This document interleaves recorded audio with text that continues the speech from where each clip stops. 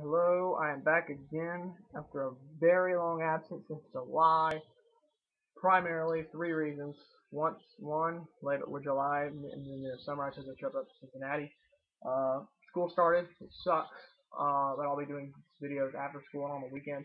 Um, computer problems is the primary reason though. I've had connection problems with my Wi-Fi, and I had to go get my computer fixed and everything, but other than that, we're good now. Um, and the NFL lockout has been lifted. Yay. College football starts in four days.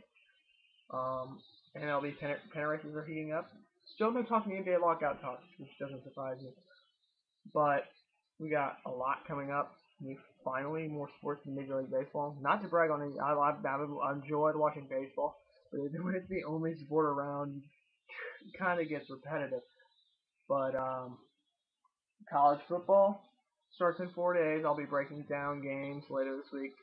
I'm gonna have my five games of the week this week. I'll have my five games. I will watch all those games.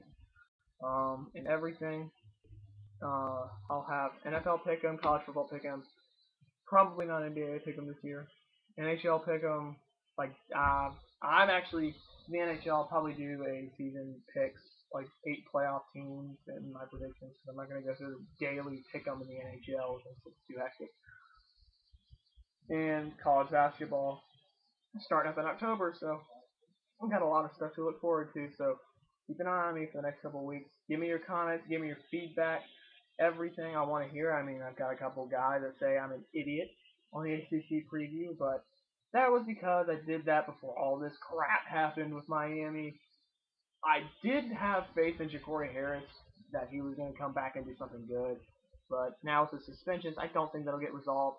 Florida State's my conference champion right now. Florida State or Tech, I mean, it could go either way. With Wilson being the dynamic running back that he is, uh, it's got a lot better. Um, so just keep looking forward to me videos in the next couple days. I'll have one tomorrow, and I'll probably a lot more snowball effect tomorrow. So keep looking for it. See ya.